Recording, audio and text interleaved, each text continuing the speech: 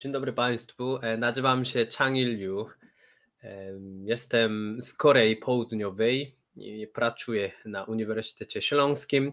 E, dzisiaj chciałbym mm, porozmawiać z Państwem o wychowaniu trochę. Taki temat jest dzieci w dwóch kulturach polsko-koreańskie.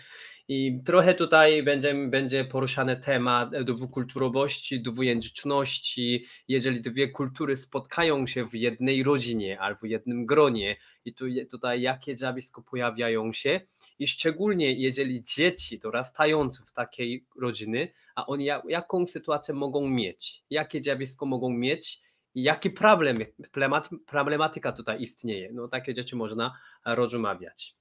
Właśnie jak wychować dzieci w dwóch kulturach? Oczywiście to jest bardzo popularny temat, ten wielojęzyczności, dwujęzyczności, dwukulturowości i tak dalej. I wielokulturowości nawet tak tutaj można powiedzieć, natomiast tutaj muszę powiedzieć trochę ze swojego doświadczenia, ze swojego prywatnego życia, ponieważ moja rodzina to jest, łączyło się ten z dwoma kulturami, czyli polska kultura i koreańska kultura i tutaj istnieje ten, ten dwojga dzieci i jak wyglądało, jak wygląda, jak będzie wyglądać. I takie rzeczy będziemy trochę rozmawiać. Oczywiście takie mm, dwukulturowości to jest zależy od rodziny, tak, zależy od narodowości, na przykład polska rodzina E, polsko, na przykład niemiecka rodzina, albo polsko-angielska rodzina, albo amerykańska rodzina, albo japońsko-koreańska rodzina, albo chińsko-koreańska rodzina, no wtedy każda rodzina inaczej wygląda, natomiast tutaj takie przykładowa rodzina jest polsko-koreańska rodzina. Ale przede wszystkim e, jeden jakiś człowiek, e, ten kształci swoją tożsamość i tutaj najważniejsze rzeczy jest istnieje takie tożsamości społeczna, tożsamość indywidualna, ale ja tutaj chciałbym powiedzieć to tożsamość kulturowa, ponieważ my tutaj mówimy o dwukulturowości i później będziemy jeszcze rozmawiać jak to idzie, na przykład dwie kultury spotkają się, to jak kształci człowieka, i przede wszystkim musimy tutaj omawiać enkulturacja. Enkulturacja to jest, można powiedzieć, takie zjawisko kultury, naturalny proces, bezbolesny proces, który kiedy człowiek kształtuje w jakiej kulturze albo jakim społeczeństwie, on uczy się albo ona uczy się e, różne czynniki, różne elementy, różne kulturowe rzeczy od tego społeczeństwa bo na przykład można powiedzieć, Azjacy są grzeczni. No, tak, takie stereotypy Państwo na pewno spotkali się. Ja absolutnie nie, nie zgadzam się tego, to też później jeszcze rozmawiam. I natomiast istnieje taki stereotyp Azjacy z Dalekiego Wschodu, szczególnie Koreańczycy, na przykład Japończycy, są grzeczni, ponieważ oni kłaniają się, kiedy spotkają się z ludźmi. Ale dlaczego my kłaniamy się? Bo my tego lubimy, my tego chcemy, no właśnie tego nie wiemy. My po prostu od dzieciństwa jesteśmy edukowani do tego. Właśnie z procesu enkulturacji. I od najmłodszych lat nasze społeczeństwo albo nasze takie najmniejsze jednostka społeczna, czyli rodzina, edukują do dzieci. Trzeba, kiedy spotkamy się z innymi ludźmi, to trzeba ukłon robić. Trzeba kłaniać się i dzieci po prostu nie zastanawiam się, to ja muszę robić, dlaczego ja robić, po prostu bezbolesnie akceptuje mi to.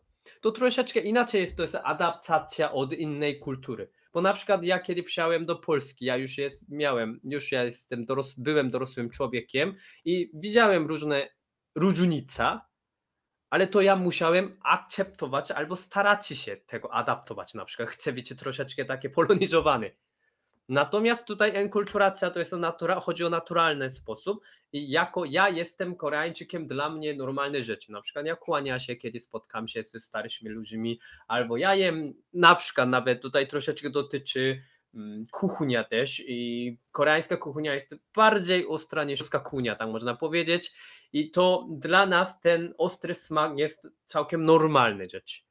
My tego nie staraliśmy się, po prostu cały czas jedliśmy, jedliśmy, jedliśmy, nawet od dawnej historii może i dlatego to jest dla nas jest normalne. Koreańczycy lubimy ostre smaki, na przykład coś takiego, oczywiście nie wszyscy.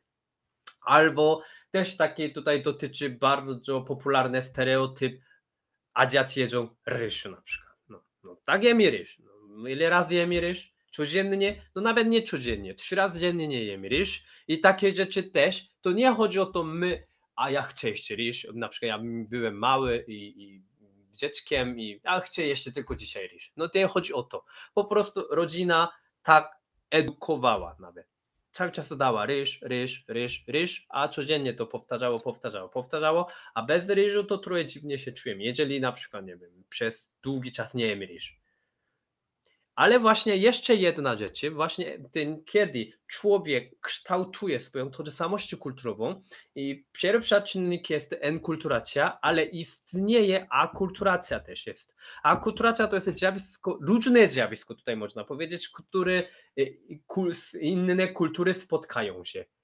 I może mi tutaj mówicie takie integracja, asymilacja, separacja, marginalizacja i różne tutaj czynniki istnieją i na przykład um, Koreańczyk spotkają się polskimi kulturami, polską kulturą i wtedy zobaczy różnica albo podobieństwo i myśli, a czy to jest e, dla mnie akceptowalne, a nie, to jest nie można, albo to jest może tutaj ten środek mogę znaleźć.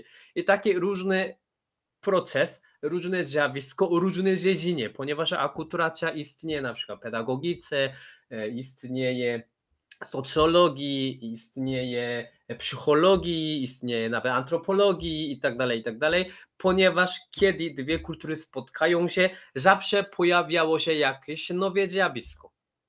I dlatego, kiedy człowiek dorasta się, dorasta się, dorasta się, i ma jakąś tożsamość kulturową, na przykład ja mówię o sobie, jest, jestem taki, cały czas mówię standardowy Koreańczykiem, e, ja pochodzę z koreańskiej rodziny i do całe, prawie całe życie, no już może nie, ale ten przynajmniej e, do dorosłego człowieka. Ja mieszkałem w Korei i dlatego jestem 100% Koreańczykiem i to tego nie zmieni się raczej.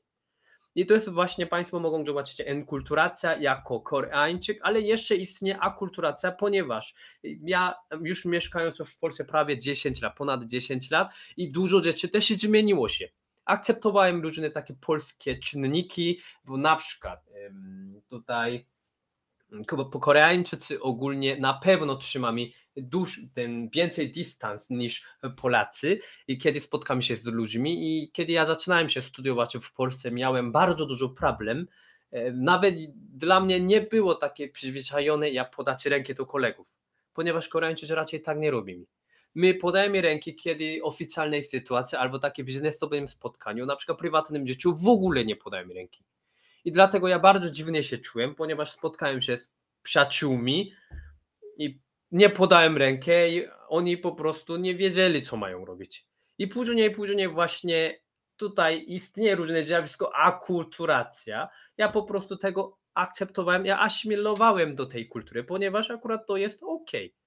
Natomiast jeszcze mam problem na przykład spotkający się z koleżankami na przykład. I właśnie w Polsce, polskiej kulturze generalnie na przykład ten spotka się z, ze znajomymi innej płci i, i, delikatnie przytulami i tam można robić, a takie dzieci w Korei absolutnie niespotkalna sytuacja. Nie nazwałbym zabronione, ale niespotkalna sytuacja i dlatego teraz ja tak mogę robić, ale dalej trochę czuję się dziwny. Ale właśnie moja tożsamość kulturowa kiedyś byłem naprawdę 100% koreańskie, a teraz na, jednak które zmieniło się przez tę akulturację, ponieważ ja mieszkam w Polsce, mieszkam w Europie. I tak tutaj można powiedzieć. I to jest to właśnie dotyczy dokładnie dzieci też. Ponieważ dziecko, mm, ta biała kartka urodziła się i potem dopiero uczy się w rodzinie, a potem społeczeństwie, a potem całe coś jeszcze więcej skali i wtedy tutaj musimy wiedzieć, jak enkulturacja i akulturacja mają, e, dobrze łączą się.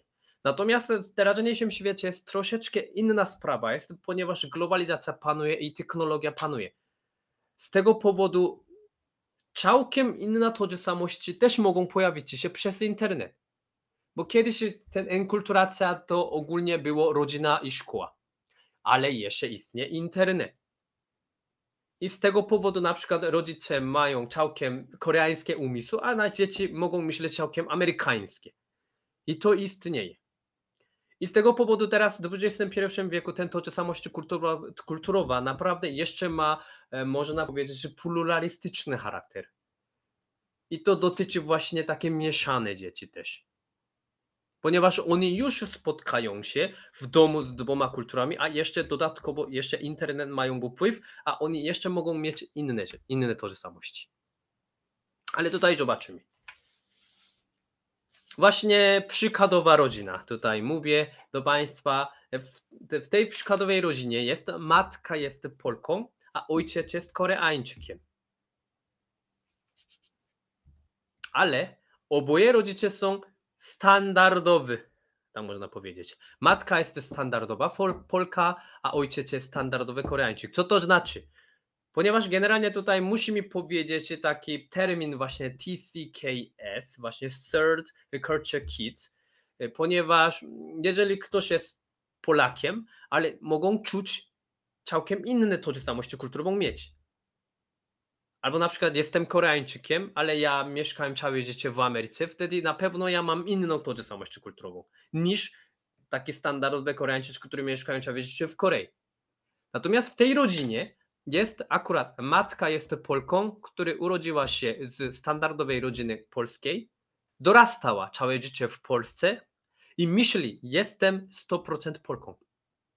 A tutaj jest ojciec, właśnie Koreańczyk, też pochodzi z standardowej koreańskiej rodziny i dorastała w Korei całe życie i dopiero on już miał 20 parę lat, przyjechał do Polski i dalej myśli, on jest 100% Koreańczykiem. Tutaj nie ma problemu. Nigdy nie zastanawiali się, a czy kim ja jestem.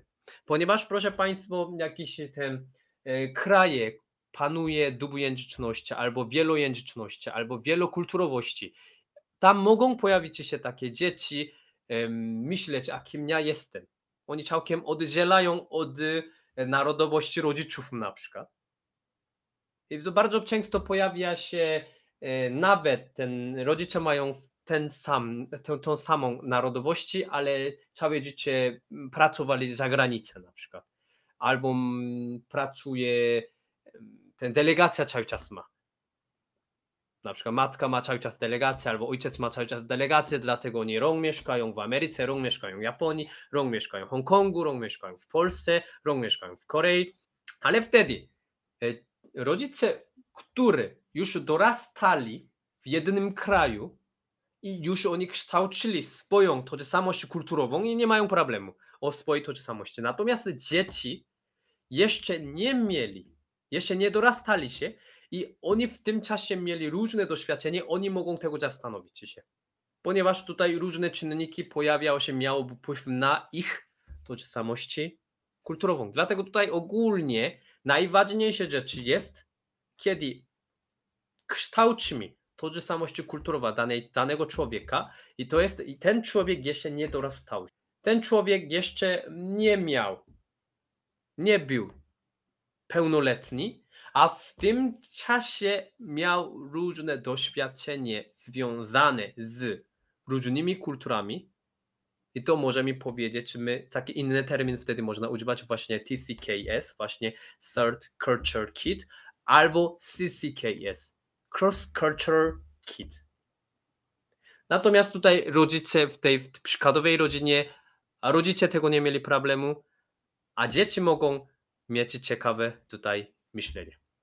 A ta przykładowa rodzina mieszkają w Polsce. I w tej rodzinie pojawia się już różne zjawiska, a przede wszystkim dwujęzyczności. Ponieważ Y, ta, ta, ta rodzice stosują się metoda OPOR, one person, one language, czyli jedna osoba, jeden język. Y, ojciec używa tylko wyłącznie język koreański do dzieci, a matka wyłącznie używa tylko język polski do dzieci.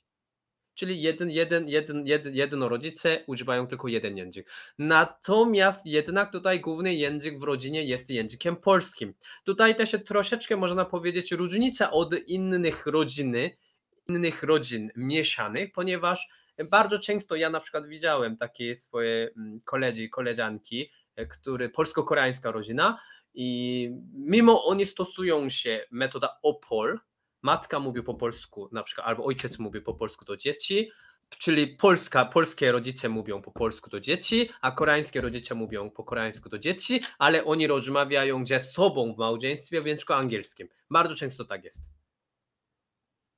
I wtedy to też tak można powiedzieć, jako to jest taki jeden bardzo ważny czynnik językowy. Dziecko mo, można ten mm, mieć, e, można dorastać się właśnie trzeciej kultury, bo jednak rodzinie wspólnie rozmawiają po angielsku. I wtedy jednak język i kultura nie można dzielić, dlatego jeżeli używa języka angielski, wtedy angielska, ta amerykańska kultura albo angielska kultura można mieć wpływ ale jednak w, tej, w tym mm, przykładowym, przykładowej rodzinie e, główny język jest język polski, ponieważ e, rodzice rozmawiają ze sobą językiem polskim i dlatego dzieci więcej słuchają, więcej mają wpływ pod językiem polskim. Tak to ma, można powiedzieć. I taka dwujęzyczność istnieje.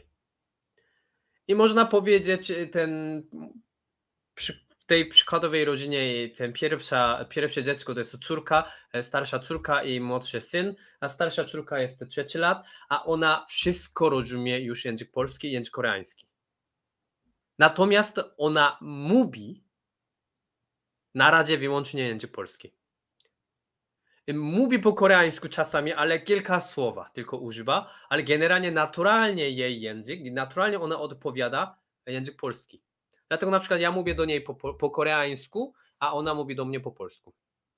E, ten właśnie, ten stosuje się metoda OPOL i tam mówią, jeżeli dziecko mówi, odpowiada innym językiem, a wtedy rodzice tego trzeba zmienić. Na przykład ja często słyszałem e, właśnie takie mieszane e, rodzice i dziecko no, chce wybierać tylko jeden język dla siebie, takie łatwiejsze, na przykład, nie wiem, ojciec jest Amerykaninem, e, matka jest Koreanką i dziecko mówi do matka po angielsku, wtedy matka mówi do dziecka, jeżeli ty nie mówisz po koreańsku, nie daje ci jedzenia. Na przykład takie metody też stosują się, natomiast w naszej rodzinie ja tego rozumiem i akceptuję y, w naszej głównej język, to jest język polski, dlatego na razie takie dzieci nie istnieje. Po prostu mówią co chcą. Ale następnie tutaj bardzo ważne, y, bardzo ważne zjawisko jest dwukulturowości. Ponieważ w tej rodzinie istnieje dwie kultury, właśnie cały czas o tym mówimy, polska kultura i koreańska kultura. Tutaj też można powiedzieć, główna kultura, główna kultura jest polską kulturą, ponieważ mieszka ta rodzina w Polsce, starsza córka chodzi do przedszkola, po prostu lokalny, tak tutaj można powiedzieć. I tutaj też właśnie ten, ten rodzina cały czas biała, a jaka kultura będzie główna. A wtedy ojciec jako Koreańczyk myśli po prostu, a jednak mieszkają w Polsce i będą chodzić do polskiej szkoły, to polska kultura można panować. Natomiast tutaj nie można też e, zapominać się całkiem koreańska kultura. Bo to szkoda, ponieważ to jest dwukulturowa rodzina. I z tego powodu ogólnie koreańska kultura pojawia się jako sposób książki, ponieważ e, koreańskie książki dla dzieci e, dziecko, dzieci czytają albo słuchają przynajmniej, albo takie różne zabawki, które mówi po koreańsku, też mogą bawić się. I koreańskie muzyki, muzyki mogą słuchać. I przede wszystkim święto też obchodzą. Koreańskie też. Oczywiście polskie wszystko, ale koreańskie też.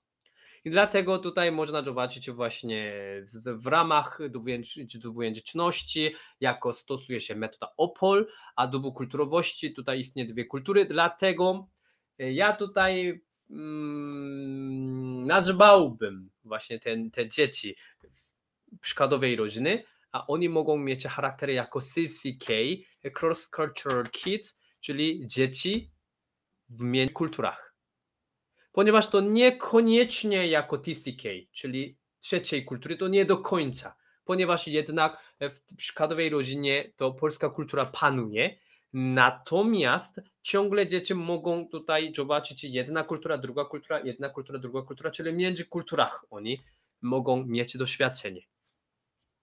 Ale okej. Okay. Natomiast te dwukulturowości mogą dać taką problematykę Jedna kultura mówi A, a druga kultura mówi B. I wtedy dzieci mogą mieć problem. Ponieważ Ja nie wiem, jak zachowywacie się.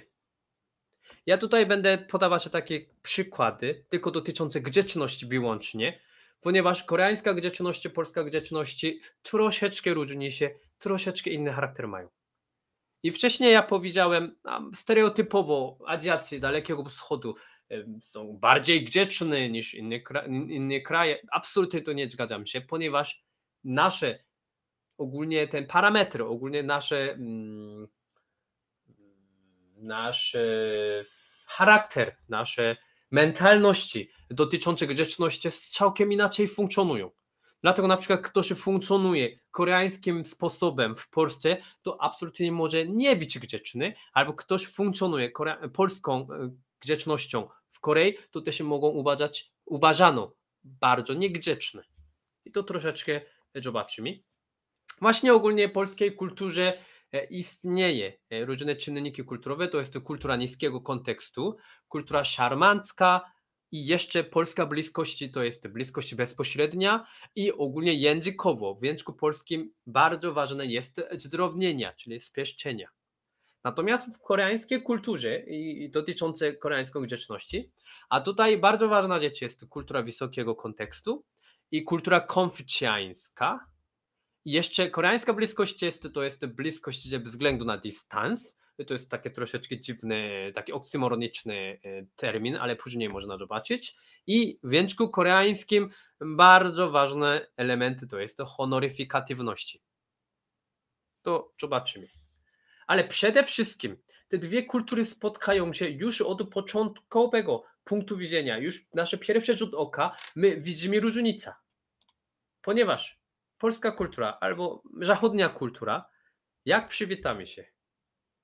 Podaj mi rękę, albo przytula mi, albo nawet tutaj taki gentleman jest, prosi do dam ręce i takie pocałunek daje.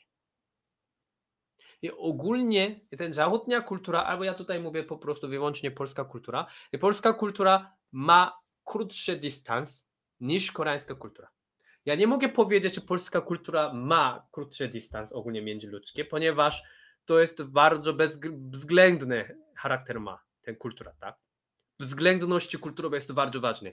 Bo na przykład tutaj mówimy, a polska kultura ma taki bardzo krótszy dystans, ale jeżeli porównujemy do kultury Europy na przykład e, południowej, to wtedy jeszcze bardziej inny.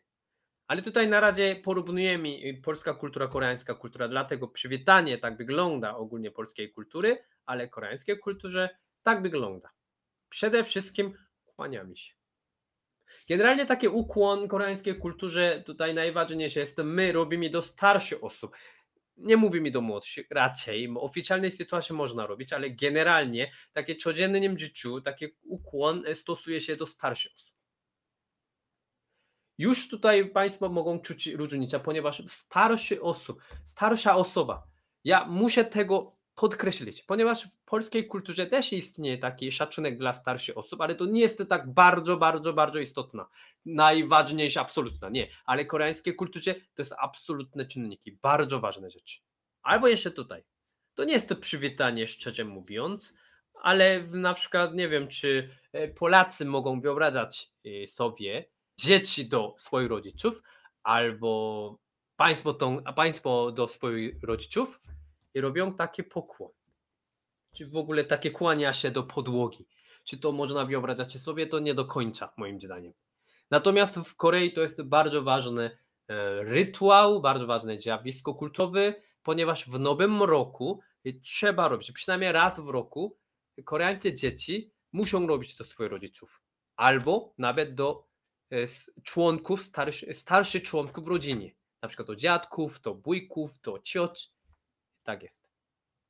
Albo nawet tutaj różnica można zobaczyć, kiedy adaptowaliśmy. Tutaj akulturacja w skali kraju istnieje, ponieważ globalizacja teraz panuje na całym świecie, dlatego koreańska kultura też adaptowała takie przywitanie europejskiego sposobu, zachodniego sposobu, ponieważ my nigdy nie podaliśmy ręki ogólnie. Oczywiście dawno, dawno temu.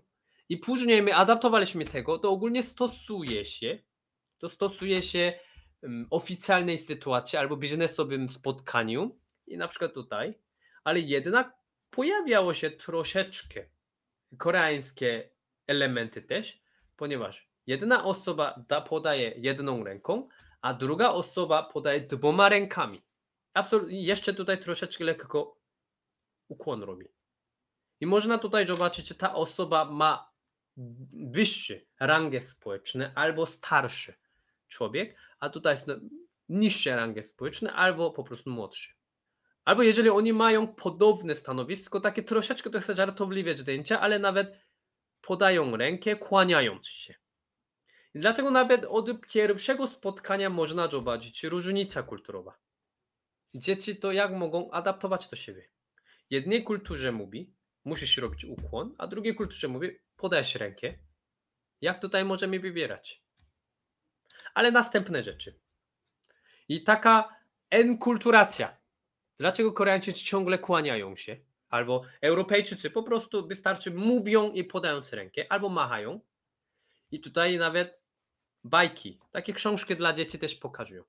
I to jest koreańska książka i napisane jest, jeżeli spotkacie się z sąsiadką, taki, to nawet trudno tak powiedzieć, ponieważ tutaj napisane jest, jeżeli spotkacie się starszą panią, starszą sąsiadką, starszą babcią, ale tutaj babcia nie oznacza po prostu prawdziwa babcia, po prostu babcia e, jako sąsiadka. Jeżeli spotkacie się z starszą sąsiadką, a twoje, ten, twoje dwa ręce musi być na brzuch i kłania się i mówisz dzień dobry. Natomiast tutaj, oczywiście to jest do dzieci, do, do kolegi, koleżanki, a tutaj cześć, jestem Charlie, to wystarczy. Po prostu prowadź do dzień dobry. I taka różnica jest. Czyli dzieci, koreańskie dzieci od najmłodszych lat słuchają od rodziców. Na przykład oni spotkają się ze sąsiadami, albo spotkają się z dziadkami, e, dziadkiem, albo babcią, albo jakąś inną rodziną, i wtedy rodzice mówią do nich: kłaniaj się. Musisz kłaniać się. To dzieci po prostu robią, robią, robią, to już adaptuje do siebie normalnie. Natomiast w polskiej kulturze tego nie ma. A jeszcze tutaj Państwo mogą zobaczyć zdjęcia, nie tylko najmniejsza jednostka społeczna, czyli rodzina, a później szkole też, jak edukują ten czynniki koreańskie. To jest ten podstawowa szkoła. Nawet ja pamiętam, y, szczerze mówiąc, teraz tak dokładnie nie wiem, ale ten podstawowej szkole w Korei generalnie tak było, kiedy rozpoczyna zajęcia albo skończy się na zajęcia, a wszyscy dzieci wstają i kłaniają do, do nauczyciela. Codziennie, codziennie, codziennie, codziennie. Albo na przykład tutaj to jest taka prywatna instytucja, która uczy, jak grzecznie zachowywać się w koreańskim społeczeństwie. I nawet istnieje taka prywatna instytucja, dlatego szkoła czasami wyśli e, swoje dzieci do tej, tej instytucji, albo nawet prywatnie rodzice zarejestrują i wtedy dzieci tam uczą się, jak odpowiednio kłaniać się, jak odpowiednio pokłon robić, jak odpowiednio zachowywać się grzecznie w naszym społeczeństwie. I na przykład tutaj to jest policji, to jest policjant i taki chłopiec. Ten chłopiec trochę przesadził, ale on po prostu ładnie ukłon robił. Na przykład ktoś nie wie, ktoś nie wie ten o informacji koreańskiej grzeczności albo koreańskiej kultury, mogą myśleć, ale może ten chłopiec boli brzuch, ale Koreańczycy my wiemy tego, już taka enkulturacja istniała w naszej we krwi, a my myślimy, ale słodzia, tak grzeczny. I tutaj można zobaczyć różnicę. Ale dlaczego tak jest? Ponieważ ogólnie koncepcja relacji międzyludzkich już różni się między polską kulturą a koreańską kulturą. Całkiem inne wizje mamy, jak budować relacje. I tutaj właśnie wszystkie ten różnica dotycząca grzeczności to jest, pochodzi od tego. Ponieważ polska kultura to opiera się na relacje poziomo. Oczywiście to jest trochę podsumowane, tak można powiedzieć, dlatego nie można powiedzieć, że to jest 100%, tylko tak jest, to jest absolutne rzeczy, ale generalnie tak jest. Dlatego ogólnie polskie zachowanie grzecznościowe to zależności od bliskości, ponieważ polska relacja jest, opiera się na relacje symetryczne. Jesteśmy, jesteśmy symetryczne. Czy ty masz 45 lat, ja mam 25 lat, a to jeżeli nasza bliskość jest dość bliski, to mówimy cześć, bo jesteśmy kolegami. No, istnieje taka inna sytuacja, na przykład oficjalna sytuacja, albo akademicka sytuacja, albo religijna sytuacja. To jest trochę inna, inna sprawa. Natomiast my myślimy tylko teraz o codzienności. W codzienności spotkamy się z sąsiadami, no wtedy po prostu sąsiad ma 17 lat, sąsiad ma 25 lat, sąsiad ma 30 lat, to, to dzień dobry, cześć, po prostu można mówić po imieniu i tak dalej, i tak dalej. Ponieważ polska grzeczności to jest zależność od bliskości. Natomiast koreańskie grzeczne żałowanie to zależności od wysokiego statusu społecznego lub niskiego statusu społecznego. Co to jest? Wysoki status społeczny, czyli zawód, no w Polsce też mogą tutaj trochę powiedzieć, ale u nas jest to jest naprawdę bardzo ważne rzeczy. Zawód i przede wszystkim wiek. Kto jest starszy, ma więcej władzy. Ponieważ koreańska kultura to opiera się na relacji asymetryczną. To nie znaczy, ktoś jest młodszy, to trzeba tylko słuchać wyłącznie od starszych. Nie ma takiego. Tylko młodszy bardziej szanują do starszych, a starszych bardziej kierują młodszych. To trochę tak asymetryczne jest. To właśnie różni się. I właśnie jeszcze dodatkowo bardzo ważna sprawa jest to kultura niskiego kontekstu, kultura wysokiego kontekstu. Ponieważ polska kultura to należy bardziej do tutaj jest kultury niskiego kontekstu, czyli kontekst jest mniej ważny niż na przykład koreańska kultura, ale to jak można powiedzieć? Po prostu Polacy mówią. Mówią bezpośrednio. Na przykład na zajęciach czegoś nie wiemy, a po prostu pytamy. Ja tego nie rozumiem albo czegoś nie zgadzamy się, ja tego nie zgadzam się, ja mam taki pomysł, ja mam takie myślenia. Albo na przykład jakoś pomieszczeniu bardzo gorąco, to mówi mi, a tutaj jest bardzo duszno, czy może mi otworzyć okna. Natomiast koreańska kultura to jest należy do kultury wysokiego kontekstu, a tutaj w werbalny sposób raczej odmówi mi, chce mi pokazać kontekstowo. Oczywiście tutaj ja co mówię, to jest to bardziej takie stereotypowo można powiedzieć, bardziej takie standardowo. Ponieważ teraz globalizacja panuje, dlatego koreańska kultura też mocno zmieni się, szczególnie do kierunku zachodniej kultury, ale jednak istnieje takie rzeczy. Dlatego ja przypominam, w koreańskiej szkole e, nauczyciele pytają, czy masz pytanie, czy wszystko rozumiecie? Nawet nie rozumiemy, to wszyscy mhm, rozumiem. Potem po zajęciach po prostu pytają podczas zajęć nie chcą pytać, albo mówią rozumiem, ale oni pokazują. Ro, rozumiem. No. Po prostu pokazują jakieś przez minę, gesty, gestykulacje. Ja tego nie rozumiem, ale mówią rozumiem. Po prostu chcą, druga osoba albo rozmówca odbiera, czyta, odczytywa ich kontekst. I dlatego na przykład wcześniej mówiłem, jeżeli sala jest bardzo gorąco, wtedy mówimy, a czy tutaj jest bardzo ciepło, czy możemy otworzyć okna, a Koreańczycy mogą działać się taki tyle i mówią, ale pogoda jest ładna. Tutaj całe po prostu nie da się żyć. On tutaj pokazuje, ale mówi inaczej. To jest właśnie inny rzecz. I koreańska kultura jest bardzo mocno tutaj, bardzo mocne, ma bardzo mocne kultury wysokiego kontekstu. I dlatego nawet istnieje takie po koreańsku nunci. Taki termin to jest mm, element społeczny, element kulturowy, e, dość mocno istotny w naszej kulturze. Nunci to można powiedzieć, to jest jako umiejętności e, odczytywania kontekstu. Po prostu jak ta osoba, co się mówi, ale on naprawdę co myśli, jak on, jakie konteksty on używa, tego pokazuje, to jak można czytać. To jest właśnie nunci.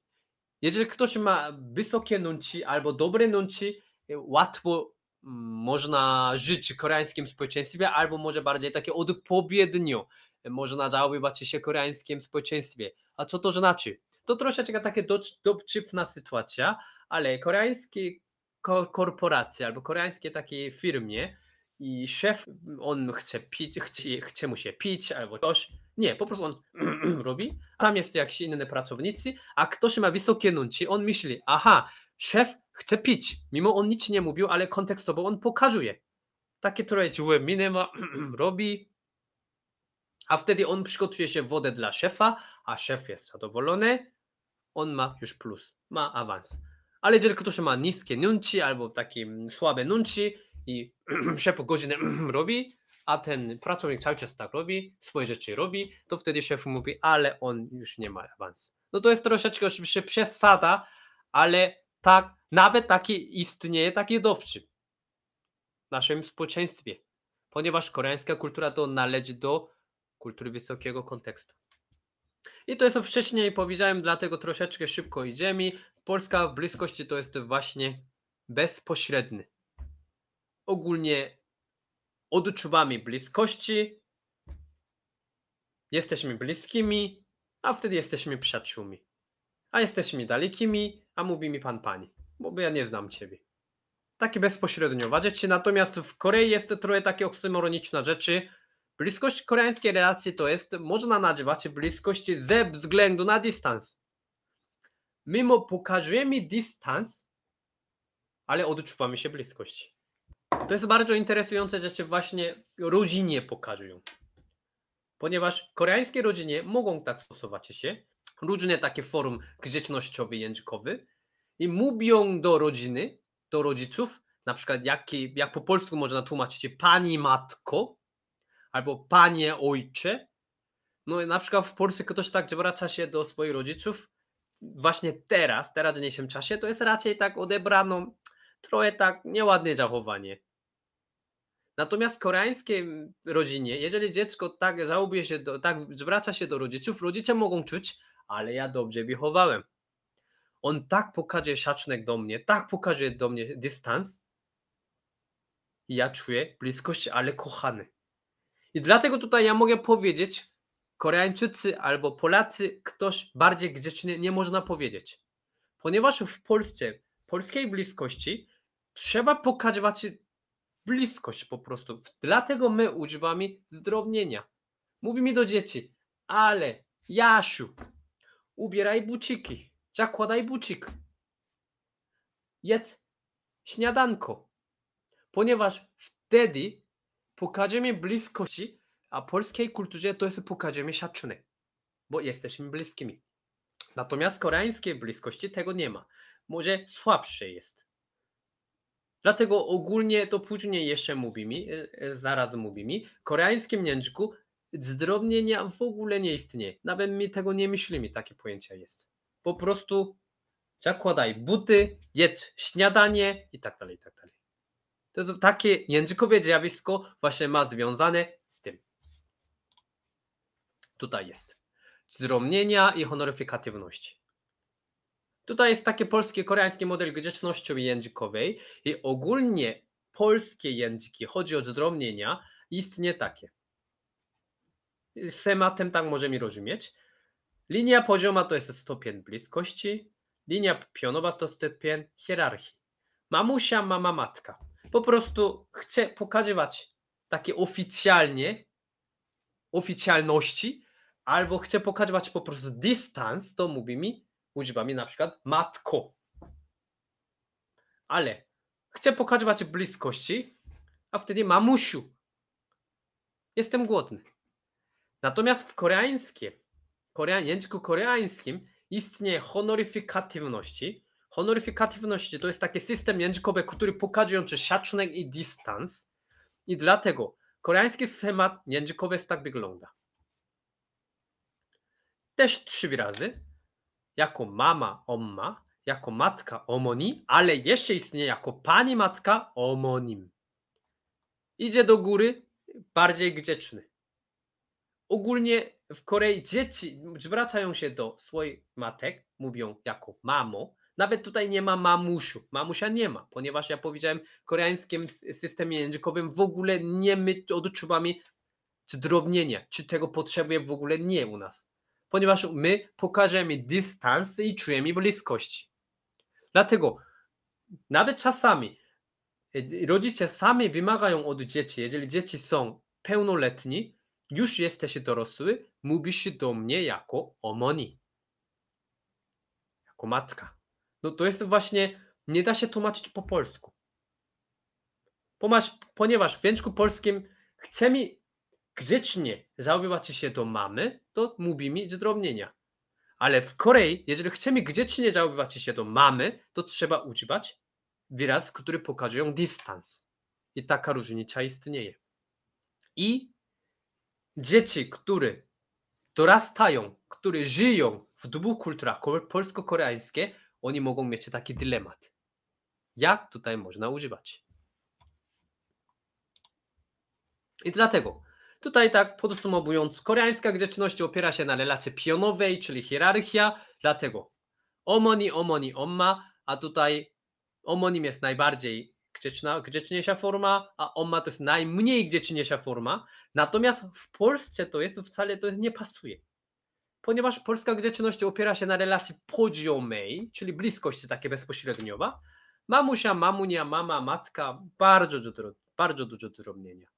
Dlatego w języku polskim nie istnieje jako pani matka tutaj omonim, a w języku koreańskim nie istnieje jako mamusia, mamunia. Bo my mamy całkiem inny system językowy, a nasza mentalność tutaj różni się. Więc córka mówi do ojca. Czasami używa tata, czasami mówi appa. Appa to jest jako tata w języku polskim, a czasami nawet mówi abodzi. Abodzi to jest w języku polskim jak ojcze. Ale jeżeli moja trzyletnia córka mówi do mnie ojcze po koreańsku abodzi, ja jestem obrażony? Nie. Tak kochany na przykład. Ja mówię, ale jesteś grzeczna. I to jest właśnie bardzo ciekawe, ponieważ na przykład inne Koreańczycy słyszą, ta córka mówi do mnie abodzi jako ojcze, używa taki dystansowy wyraz, a Koreańczycy myślą, ale dziecko już wie, jak zachowywacie się, jak grzecznie zachowywacie się. Ale jeżeli to mówimy do polskiej kultury, to jest nie do końca pasujące. Oczywiście tutaj takie, ten, ten trzyletnia córka, ona nie myśli o tym, czy ona grzecznie zachowuje się, nie grzecznie zachowuje się, ponieważ takie mieszane dzieci, albo dzieci takie dwujęzyczne, albo wielojęzyczne, oni mają taki system code switching Czyli no, dla nich jest takie języki, różne języki jest, po prostu mogą wymienić, jak w jednym języku. Natomiast to jest ciekawe, ponieważ ten abodzi to jest najbardziej takie mm, grzeczny wyraz, może nie najbardziej grzeczny wyraz, to to, to jest taki grzeczniejszy wyraz jako ojcze niż apa jako tato, a ona kiedy prosi coś, ale jeżeli tego nie słucham, ona mówi tato, tato, tata, tata, a potem mówi appa, a jeżeli ja nie słucham cały czas, albo nie chcę tego robić, a wtedy ona nagle zmieni się abodzi, jeszcze grzeczniejsza forma używa. Może ona jeszcze tego nie tak dokładnie analizuje, ale można już odczuwać. Bo to jest najbardziej taki e, pokazujący dystans i szacunek, dlatego kiedy ja czegoś potrzebuję, a tego wyrazu używam, używam, może ona już tego czuć. Ale w tym przypadku, czy możemy wiedzieć, możemy powiedzieć, który wyraz jest najgrzeczniejszy lub czy pasujący? Czy ona mówi, ona używa abodzi, to ona jest grzeczniej, bardziej grzeczniej zachowuje się? Czy ona mówi tata, to w ogóle nie grzeczny? To jest trudno powiedzieć, ponieważ takie dziecko wielojęzyczne, dziecko dwujęzyczne, oni jeszcze tego nie zakodowali. To jest dopiero później jeszcze musi mieć więcej enkulturacja, a akulturacja. I dlatego już skala społeczna, skala szkolna, skala inaczej, jeszcze większej kulturowy i uczy się i adaptuje grzeczności. Etykieta. I wtedy dopiero można wiedzieć i można wywierać. Na razie to jest po prostu traktuje jako jednym języku. W dniach codziennych, tutaj jaką można mieć takie ciekawości? Właśnie przywitanie i grzeczność koreańska istnieje w tej, w tej przykładowej rodzinie. Dlatego tutaj dzieci jest, uczyli się, kiedy spotkają się z innymi ludźmi, machają po prostu cześć. Ale równocześnie też uczyli się robić ukłon. Na przykład tutaj. Tutaj dziecko ukłon robi do, koreańsku, do Koreańczyków. Kiedy spotka się z starszych Koreańczyków, a to ona wie, trzeba robić ukłon.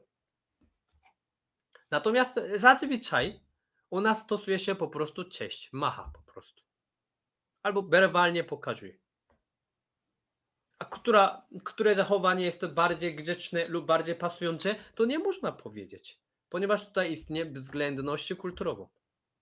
I dlatego my mówimy ten CCK, ten dzieci w międzykulturach. Dziecko cały czas chodzi jednej kultury do drugiej kultury. I od tego może pojawia się trzecia kultura, własna. Na przykład przy stole tak samo. W przykładowej rodzinie ogólnie e, w ten człon, członek rodziny jedzą czasami polskie kuchnie, czasami koreańskie kuchnie. Ale jedyna koreańska kuchnia ma kilka czynników. Całkiem inaczej wygląda jedzenie przede wszystkim. Inne urządzenie używa, a inna grzeczność jest. Na przykład tutaj jest takie przykładowe e, danie, takie kolacje można powiedzieć i tutaj jest akurat córka jest. I to jest to typowe koreańskie danie. Ryż, zupa, jeszcze takie bardzo popularne koreańskie przystawki, taki side dish, kimchi, ten ostre, kapusta pekińska, główne danie i tak dalej, i tak dalej. To jest właśnie koreańskie, e, ten typowe koreańskie kolacje, tak można powiedzieć, ale można tutaj inne urządzenie też. Pałeczki i łyżka. O, Koreańczycy wszyscy dobrze umieją pałeczki? Tak, to jest właśnie istnieje takie podobne jak ukłon, jak enkulturacja, ponieważ dzieci od najmłodszych lat tego uczą się. Na przykład tutaj następne zdjęcia, też podobnie tak trochę pokazujące koreańskie rzeczy, bo ryż jest, warzywa, mięsa, a jeszcze to jest takie koreańskie nori, takie nazywa się kim. Ale najbardziej takie interesujące z punktu widzenia takiej dubu kulturowości, to jest o chodzi o to. Ponieważ ta pierwsza córka, pierwsze dziecko już zaczynała się uczyć, jak używać pałeczki. I ona już umie.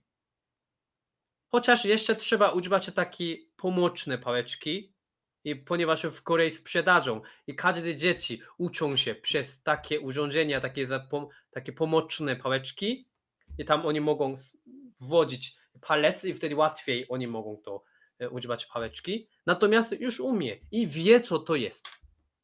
I tutaj właśnie można zobaczyć enkulturacja, ponieważ to jest nawet nie chodzi o to, rodzice kazali.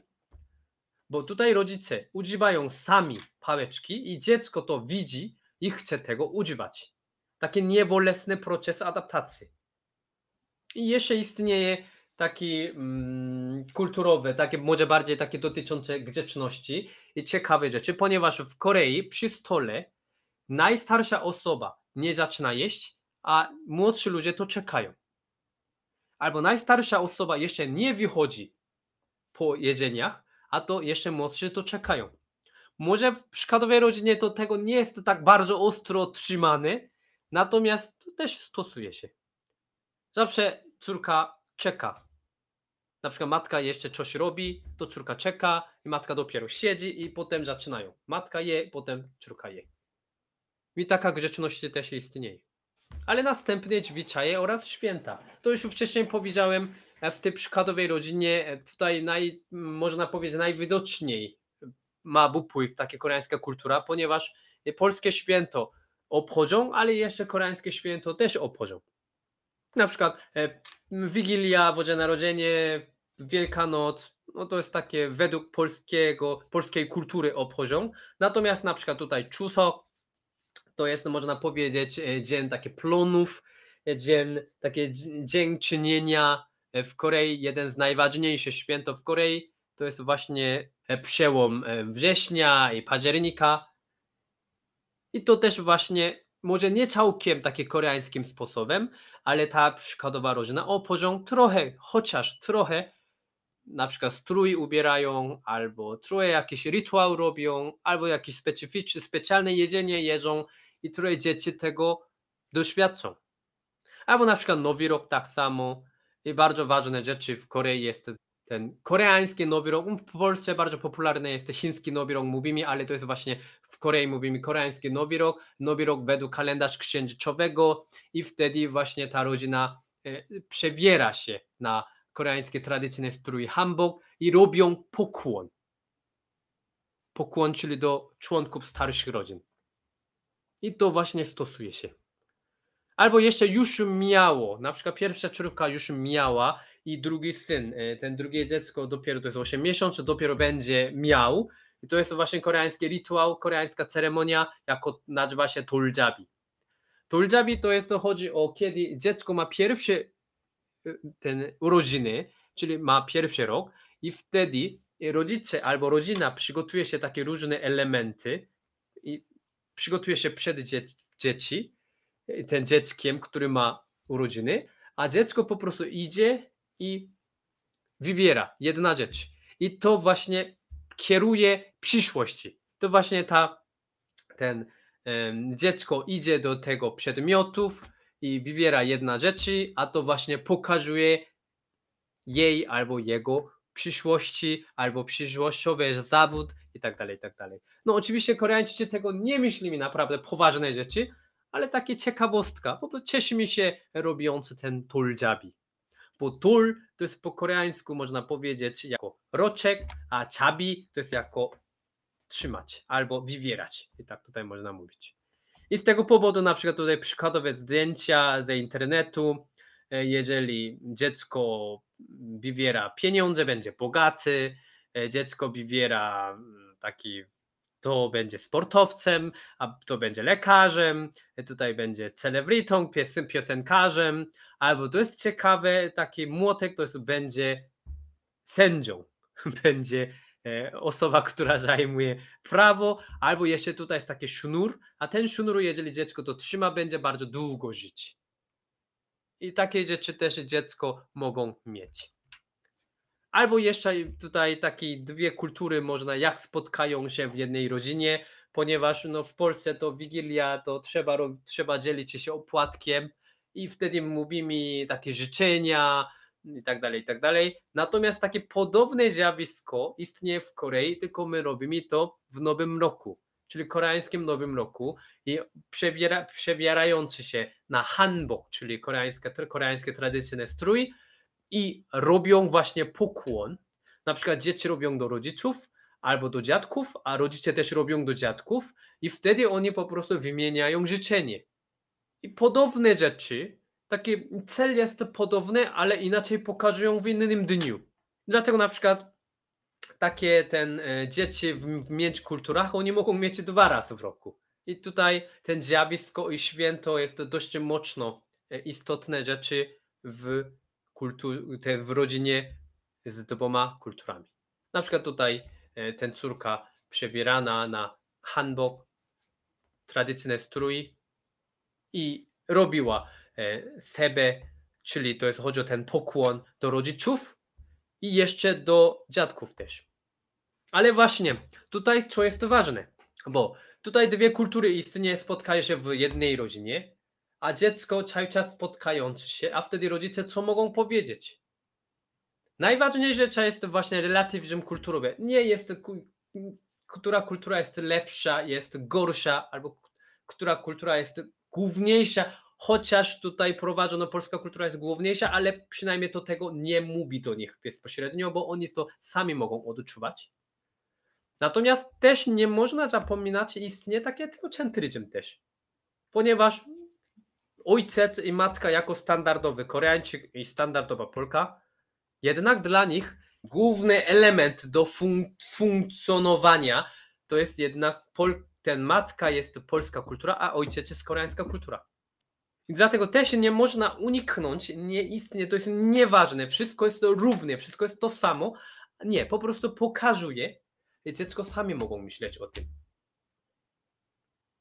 I z tego powodu tutaj istnieje bardzo ważne dwie czynniki interkulturowości, ponieważ dziecko między dwoma kulturami cały czas chodzi i zobaczy, doświadczy i myśli. I od tego jeszcze jeden krok jest właśnie transkulturowości.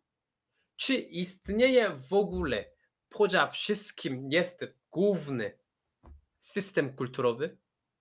To jest właśnie teraźniejszym świecie jest taki jako internet to można prowadzić. Albo taki humanizm na przykład to można powiedzieć.